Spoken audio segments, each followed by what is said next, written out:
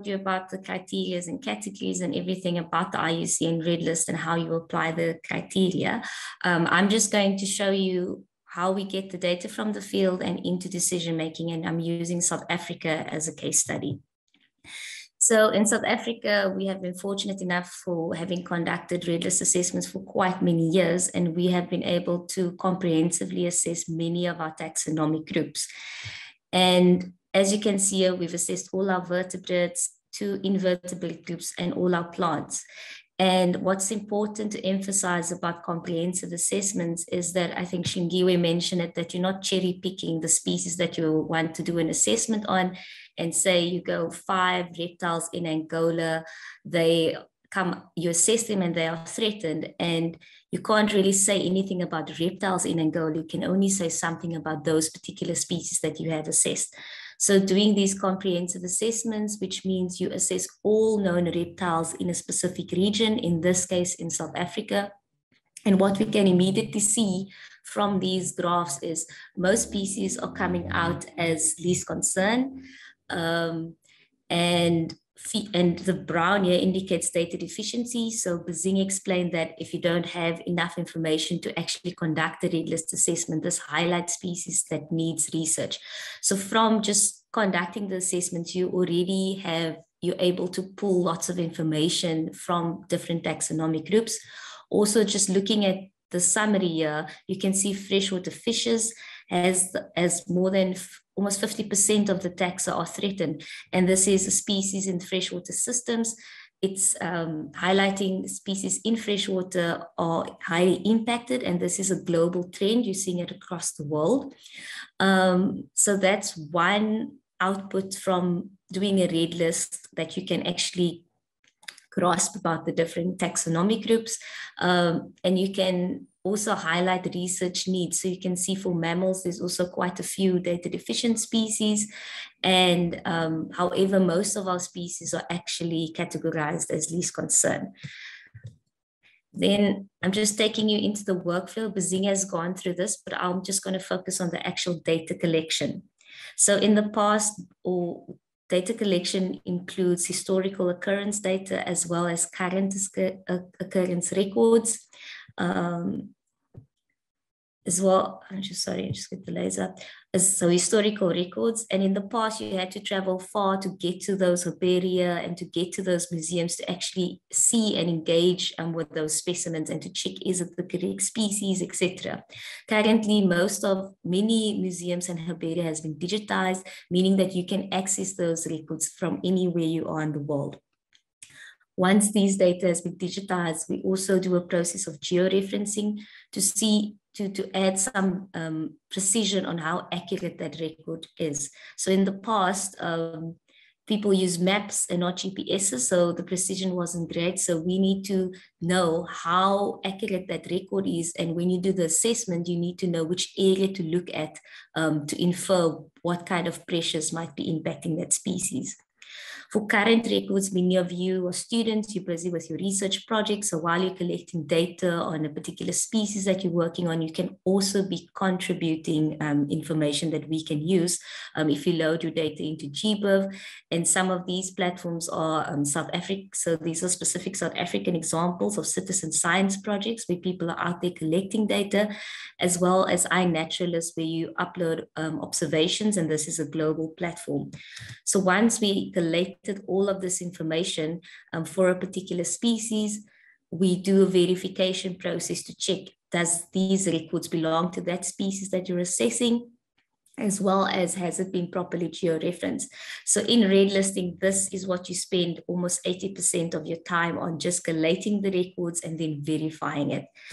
So in this case, this particular record was not included in the final assessment, and that could be the record did not belong to the target species, or um, after georeferencing it correctly, it actually plotted out where these were. So this would be an endemic species to, to this area in South Africa, and then you apply um, the, the criteria that Bazing just spoke about, and you're able to then come up with an assessment, and then the review process starts that um, Hlengiwe was talking about. Once, the, once it's published, this data can now be used to inform decision making. And as Bazing mentioned, the SIS system for global assessments. And then in South Africa, we have a national red list that feeds into this global um, system as well. So once you've completed your assessments, we can look at trends. So how are species doing over time? If you've conducted multiple assessments for groups over time, you can actually look at trends. So how is the status is changing of the species? And we do this with the Red List Index. It's a global index and we have uh, done this analysis at the national level as well. So any country can conduct this assessment. So things to look out here for is um, if the index is one, it means all species are least concerned. They're not threatened. They're very happy. They're doing well. If this index goes to zero, it means all species are extinct. So as you can see, if there's a negative trend, it means species are not doing that great. Um, and we can actually delve into which species have changed status and why, and identify what the major drivers of that, of that threat is. With the assessments, as Hlengiwe mentioned, you code the different threats to the species, and then we're able to identify what are the major pressures to birds in this example, and even go down to the lowest level of what are those particular impacts. So here, the highest pressure on birds in South Africa is agriculture and aquaculture, and these include wood and pulp plantations, annual and perennial non-timber crops. So you can really see to which level um, the information has been um, collected in the assessment. Also, spatially, you can look at different habitats where um, your most threatened groups are. In South Africa, we have these biomes, and in each different country, whatever vegetation types you're using, you can then, if you if you have your spatial data um, available, you can look at what's the threat categories of species within that particular um, habitat. So it's a way of identifying areas that need research and also identifying areas that need um, um lots of um, conservation efforts, like for plants in the fynbos, many threatened species and also many data deficient species. Here, the gray indicating data deficiency. Um, Hlengiwe also mentioned um, protected area expansion. One of my colleagues, Dr. Lize von Staden, um, uh, produced this map where after we completed our red list assessments and looking at protected areas, we were able to identify sites where you can protect the most threatened species um, in the least amount of areas. So at least protecting one population of a threatened species. So this is now used by conservation agencies to prioritize where they're expanding their protected areas to. And this is um, doable once you've um, conducted your red list assessments and your spatial data becomes available. We're also able to map species specific habitat so this is a species only known from one site. And while you're doing your red list assessment, you're verifying records and you're looking at the particular habitat of the species. This kind of maps become important at the local level where you want to influence um, how the local authorities, uh, where they protect, etc. So this could then inform that decision making. So once you've conducted your red list assessment and all that information is included, you also can produce these maps to influence um, prioritization of sites to protect. In South Africa, we also have a land use screening tool, and this uh, follows a similar process of being able to map where your threatened species are. And we live in a country where there's development pressure, we need to develop, but we also need to do it in a conservation conscious way. And this helps us to to bring those two priorities together where we can go. Somebody wants to develop in this particular space and we can say this is the risk to those species. This is the number of threatened species in that place. Um, and then these are the steps that you need to follow if you want to go ahead and develop there. Um, there's there's a whole um, set of protocols to follow as I mentioned, a developing country, we need these um, integrated um, strategic infrastructure projects. So from the Department of Energy, they may say they want to put these um, pylons across the country in this particular space. Then we have the red list data, the spatial information of where our threatened species are, and combining these two, we can guide where these processes take place. And we can say these red areas are really sensitive areas, and we should rather try and avoid them when doing um, these developments. And this we can drill down to the specific taxonomic groups or vegetation types. There's also KBAs, um, Hlengiwe and Bazing mentioned it earlier. This is a global process that's currently taking place. And one of the criteria is whether species is threatened and whether species are range restricted. And with that information, you can contribute to identify um, specific areas to qualify as KBAs. So the red list really feeds into um, identifying research priorities, so species that we need to monitor to, to update their assessments, also species that we need more information about. We influence spatial planning and bioinformatics that you need to present at the local, global, national and global level. And then also in these high level processes where we need to address our sustainable development goals. And the red list feeds into these um, policy decisions as well. So thank you everybody for listening and we welcome any questions. So I need to say a big thank you again for the talk and for your work. So with that, I'm going to open the floor for questions. Um, I think our main audience has to leave soon. So I'm going to start with them. Uh, Michelle Walters. I'm going to start with you guys. Hi. Hi. Just yes, I know you guys have to leave in leave shortly. So I just need to start there if there are any questions there. Thank, thank you so much to the speakers. Just a quick round of applause from us.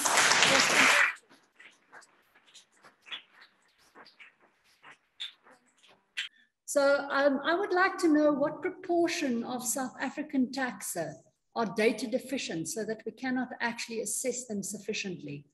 Do we know that? Do we have that data?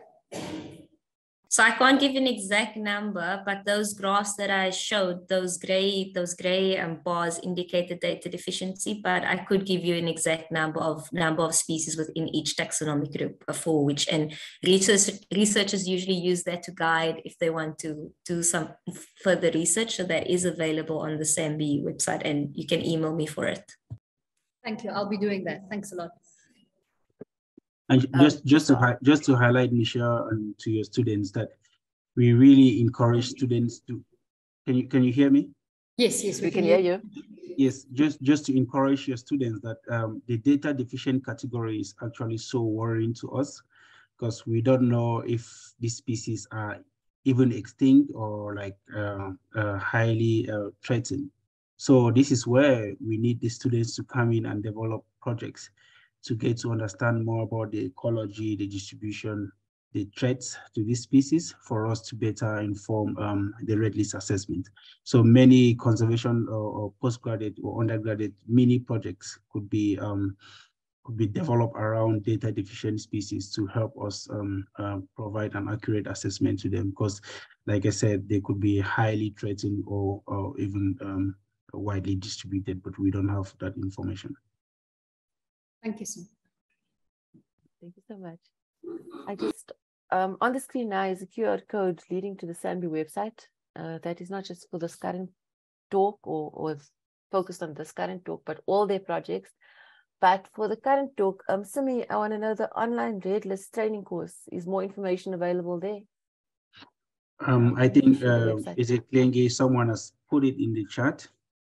So okay. that could be with the, yeah, Okay, um, I see. So it is yeah. available in the chat. Yes. Thank you. Um, are there any other questions? If you do have any questions, if you can just raise your hand or ask it in the chat. Uh, bursary opportunities may be available to support research on data deficient species. Okay, is that on the website? No, it's not necessary from it's not necessary from SANBI, but globally there's lots of opportunities, international funding that goes towards but um, research on data deficient species. Because exactly as Basing said, it we, we can't do an assessment if we don't know about more information about it. So they, it's a good motivation for why you'd want to work on a specific species. Yeah. Um, uh, I have questions. So if you, this is now post research, if the research has been done, how do I inform you that there's research done on, like, for example, stock structure of a fish species, which is the subspecies of a fish species? If I did research on that, do I inform you or do you find the information on your own? Can I go, Bazing? Yeah, so it's two ways. It's two ways. Like I said, in the in the red list uh, process, there's a whole uh, in terms of the process that data compilation stage where you have to do like in-depth research, um, searching gray literature, searching museums, searching uh, university records to be able to get accurate information on on species in terms of the distribution, the population. So the project manager or the assessor will be able to get that information. But it's also wise for you to inform, for example, SANBI, um, the, the division that uh, Dewidine and Hlengiwe represent, the threatened species unit. They are really responsible for conducting biodiversity assessment. So if you want to be involved, you can contact them and provide that information as well. And then the second one is you guys spoke about citizen scientists, but I think if you can just mention that again, how they play a role in all of this. So there's the researchers and then the citizen scientists. I think that would be interesting. Maybe, maybe Schling, yeah, Hlengiwe. Oh, yeah. So the citizen scientists are playing a huge role because um, we have, um, I don't know if you know of uh, the Custodians of Rare and Endangered Wildflowers program, which is under SANBI. It helps with um, monitoring and collecting data for species, and we have um, target species that we give to them when we select species that we want to update. So they help us in gathering the data. They would visit the field and gather more population information or whether it's be of threats, information, the population sizes, and then they feed into the red list. So they play a very huge role because when they collect the data, it also goes to the INET and people, other people who are already interested to even give us more information if they know of a species. So they play a very, very huge role in, in getting us data, in updating these assessments. And um, because they are doing the ground truthing, we also rely on them on getting the information and updating the assessments. So just to complement uh, what um, um, said, citizen science information is really, really important, especially in applying criterion E, which looks at geographic range. So whether you're calculating the extent of occurrence or the area of occupancy, we could be able to use those species occurrences to calculate those parameters. And we have, South Africa is really blessed with like several citizen science uh, projects from uh, BirdLasser for those that are ornithologists, um, uh, iNaturalist, um, iSpot. We have several of them where people that are not really scientists or that cannot contribute to the course can provide information in terms of the distribution, the ecology, the threats to the species. And we really collect that information when we are compiling the data to be able to inform the red list assessment process. Yeah.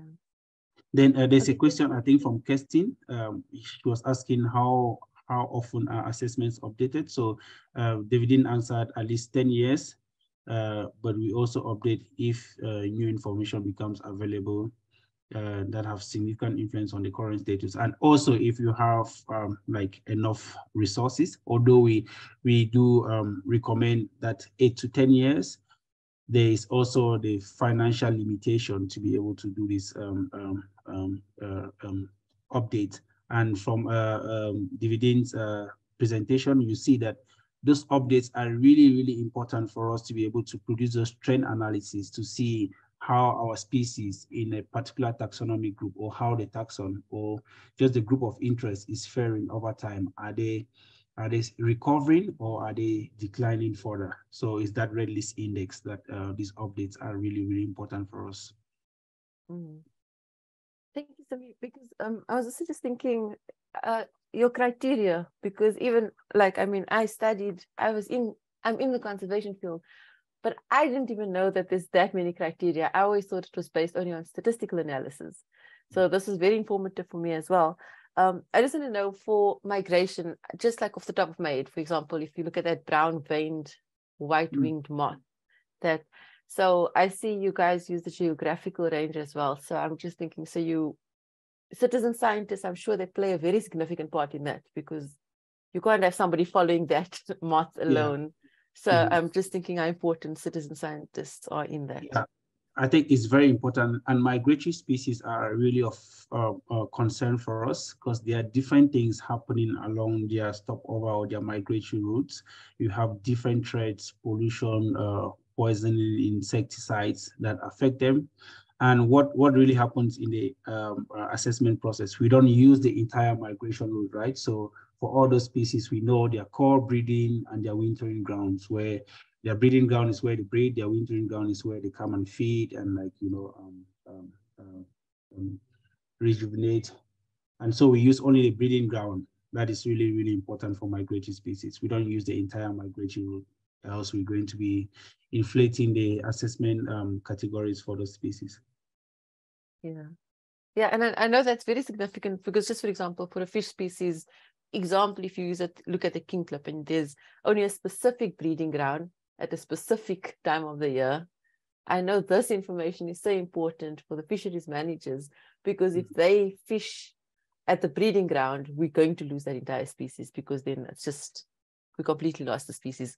Um, they all the whole population basically goes to one feeding ground. Yeah, and, yeah. So and, this uh, is very think, uh, significant. Work. We didn't also mention the the key biodiversity area. So um, yeah. it's another standard that really fits on the IUCN Red List. So yeah. we want to try and protect this feeding ground, these spawning grounds for, for your fish species, for example. We need to protect those sites because if those sites are wiped away, then the, the next generation of the species will also be, be wiped away and we are driving them very fast to, to extinction. So the KBA approach also like tries to identify those important um, areas of biological processes like your um, spawning, your um, um, yeah, spawning and, and the rest. So yeah, the breeding grounds, key, spawning. It, yeah, it's key for us to, to, to understand the standard and see how they really fits into uh, conservation prioritization. Yeah, yeah, no, I think it's very important work. Thank you, guys. Mm. Um, Asha, uh, yeah. oh, sorry, Asha, I just want to add for specifically for the marine taxa, we've we've owned we, we can't use like the distributions because that data is just not available. But then the data that the fisheries produces on the populations and and all of like that data is then used in the marine assessments.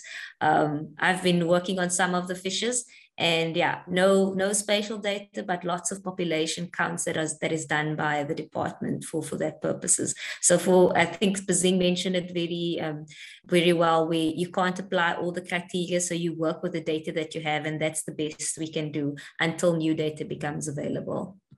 I see yeah, kirsten's so, hand is up. Yeah um before kirsten can i just quickly follow up just a second? Um on the fisheries data so you take all the information from the fisheries, which is all the fisheries. So uh, non-targeted species is that with the stats analysis then come in where you make projections. Yeah, example, one of what, like yeah, if hake is hake is a targeted species, so you catch, but non-targeted species like monk or kingklip, um, do you then make projections with stats analysis? Yeah, so that's where criteria E comes in. We use the modeling. So for okay. most of our species, we don't have that uh, analysis, but then for the fisheries, they can actually do those projections and then we apply criteria E. Yeah. Okay. Thank you. Okay, Kirsten. Yeah, thank you, Sami, Dewidine, and Hlengiwe. Your talk was amazing, very informative and fascinating. Um, I had a question, uh, Dewidine. You had a you had some maps of where potentially like say a pilot pylons were being uh, planned for um, and they were there were obviously um, there was it was um, highlighted where there were uh, vulnerable species along those those plans. Um, how loudly are you heard by planners when you um, when you talk to them about what's going on with biodiversity, and uh, do they uh, do they listen to you? Okay, so I'll I'll speak for South Africa and Bazinka maybe give a perspective on other countries. Um, so in so there's these two two things here. In that particular example, it was this um, strategic infrastructure projects for South Africa. So these were high level projects that needed to to be um, um, taken that needed to to sort of start and at, for those particular projects we actually consulted between the two departments at, at the national level where the um, plans for where they want those pylons and we, we had the data and that fed into the final plan. So it, at that level, we really had impact because it was at the national level where the, the sort of discussions took place.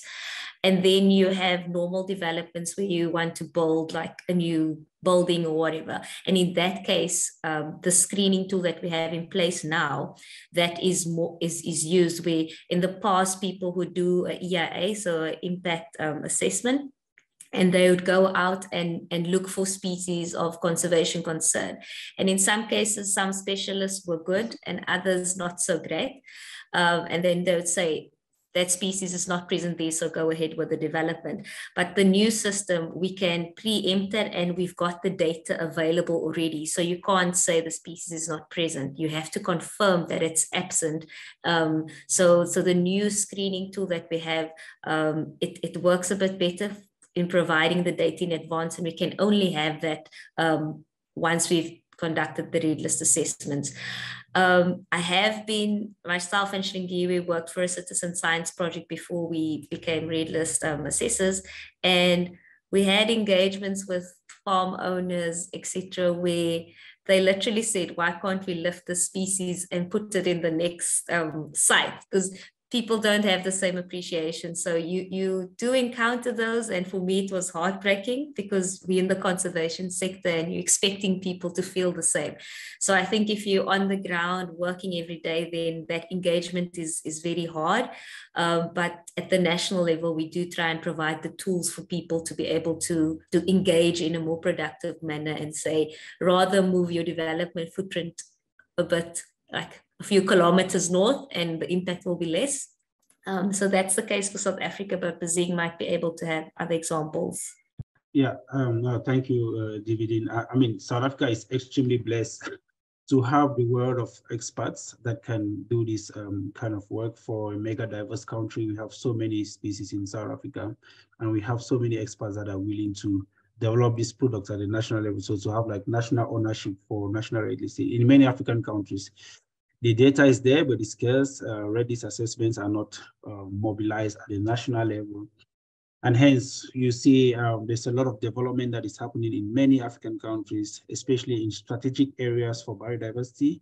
And these are the things that are driving this biodiversity to extinction. So what countries are doing, um, countries that do not have a national database or national data set like um, South Africa, they are relying on global data sets like the IUCN Red List at the global level. And we have this um, tool, I think uh, Dewidine, uh, she, she mentioned the site screening tool. Uh, at the global level, we have uh, what is called the Integrated Biodiversity Assessment Tool. So they harness data from the IUCN Red List, from the World Database on Protected Areas, from Key Biodiversity Area Database. And when development needs to happen, they'll just try to look at the footprint of that development using global database, but it's not always representative. So my project, including a colleague from SANBI, um, uh, Domitilla, we are working with several African countries to be able to help them to mobilize this um, national database to be almost like South Africa, where they can inform those development even to like a provincial level. And at the moment, it's, it's very, very hard and they have to rely on global data sets, like I mentioned. But thank you guys. I'm going to be in touch with you. okay. Yeah, thank you for the work. Yeah, with that, I think we're going to close the floor for today. Thank you again, guys. And please keep up with the work. It's so vital. I think it's the um it's it's so core in it doesn't matter which area you go into. This mm. part is this it's like one of the first, if not the first step that you look at, just to get a, a sense of where the the uh, animal, plant, organism is. So thank you so much.